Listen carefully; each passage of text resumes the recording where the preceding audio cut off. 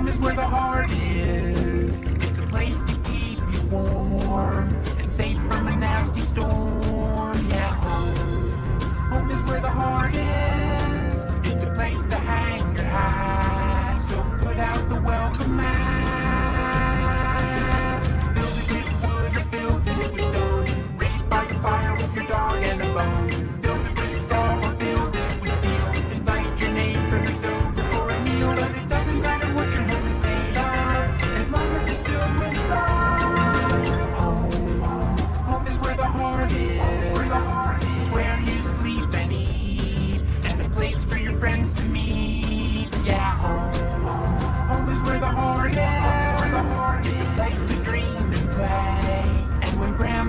arms, it's a place to stay.